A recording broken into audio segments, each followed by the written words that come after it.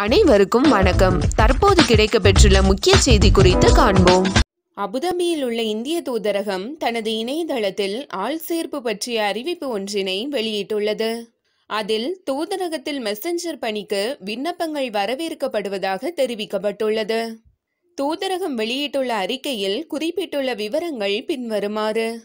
பணி மெசஞ்சர் குறைந்தபட்ச கல்வி தகுதி உயர்நிலை கல்வி அதாவது பத்தாம் வகுப்பு.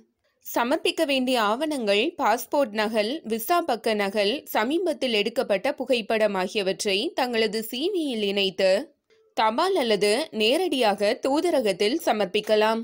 தபால் அனுப்ப வேண்டிய முகவரி டிஸ்கிரிப்ஷனில் கொடுக்கப்பட்டுள்ளது. கல்வித்துறையில் பணிபுரியும் தொழிலாளர்களில் கொரோனா தடுப்பூசி எடுத்துக்கொள்ள தகுதி பெற்றும் சுய விருப்பத்தின் பேரில் தடுப்பூசி எடுத்துக்கொள்ளாதவர்கள் கட்டாயம் வாரம் ஒரு முறை பிசிஆர் பரிசோதனை எடுத்துக்கொள்ள வேண்டும் என தெரிவிக்கப்பட்டுள்ளது. ஊழியர்கள் வீட்டிலிருந்து அல்லது கல்வி கூடத்தில் பணிபுரிந்தாலும் இந்நடைமுறை பொருந்தும்.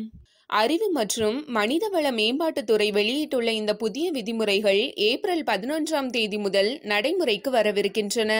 துபாயில் உள்ள அனைத்து தனியார் கல்வி நிலையங்கள் துவக்க நிலை கல்வி மையங்கள் பள்ளிகள் பல்கலைக்கழகங்கள் மற்றும் பயிற்சி நிறுவனங்களுக்கும் இந்த விதிமுறைகள் பொருந்தும். கொரோனா அறிகுறிகள் இருப்பவர்களும் பிசிஆர் பரிசோதனை எடுத்துக்கொள்ள வேண்டும் என தெரிவிக்கப்பட்டுள்ளது.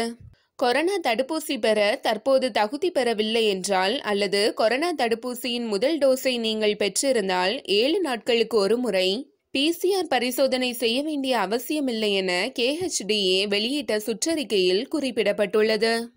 எலக்ட்ரானிக் பொருட்களுக்கான பிரபல ஷாப்பிங் நிறுவனமான Sharaf DG TV home theatre பிரியர்களை கவரும் வகையில் பிரத்யேக ஆஃபர் ஒன்றினை அறிவித்துள்ளது.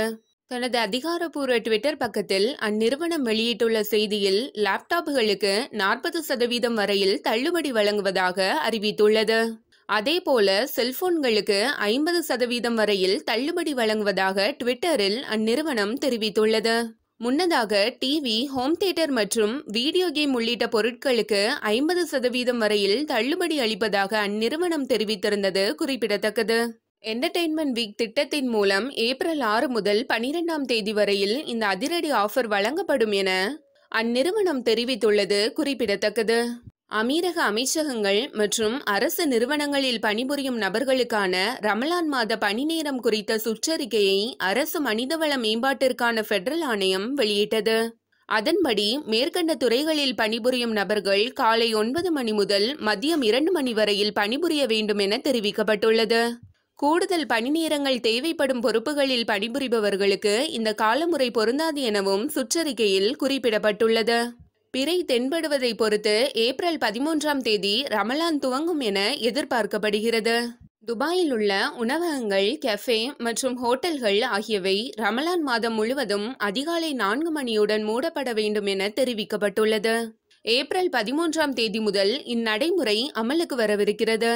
துபாய் நகராட்சியின் சமீபத்திய அறிவிப்பின்படி உணவகங்கள் அதிகாலை மூன்று மணிக்கு மேல் உணவு ஆர்டர்களை ஏற்கக்கூடாது என தெரிவிக்கப்பட்டுள்ளது.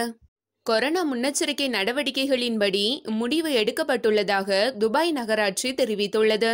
கொரோனா வைரஸால் இன்று புதிதாக ஆயிரத்து எண்ணூற்று எழுபத்தி ஐந்து பேர் பாதிக்கப்பட்டுள்ளதாகவும் ஆயிரத்து தொள்ளாயிரத்து முப்பத்தி ஒன்பது பேர் குணமடைந்துள்ளதாகவும் மூன்று பேர் மரணமடைந்துள்ளதாகவும் அமீரக சுகாதார மற்றும் தடுப்பு அமைச்சகம் இன்று அறிவித்துள்ளது. ஐக்கிய அரபு அமீரகத்தில் கொரோனா வைரஸால் பாதிக்கப்பட்டவர்களின் மொத்த எண்ணிக்கை நான்கு லட்சத்து எண்பதாயிரத்து ஆறாகவும் குணமடைந்தவர்களின் எண்ணிக்கை நான்கு லட்சத்து அறுபத்தி நான்காயிரத்து தொள்ளாயிரத்து எழுபத்தி ஒன்றாகவும் மரணமடைந்தவர்களின் எண்ணிக்கை ஆயிரத்து ஐநூற்று இருபத்தி ஆறாகவும் உயர்ந்துள்ளது. உங்களுக்கு ஆண்ட்ராய்ட் தமிழ் நியூஸ் சேனலோட முக்கிய செய்திகள் பிடித்திருந்தால் லைக் பண்ணுங்க சப்ஸ்கிரைப் பண்ணுங்க உடனுக்குடன் செய்திகளை அறிந்து கொள்ள பக்கத்தில் இருக்கக்கூடிய பெல் ஐக்கானை கிளிக் பண்ணுங்க. உங்கள் ஆதரவு எங்களுக்கு தேவை.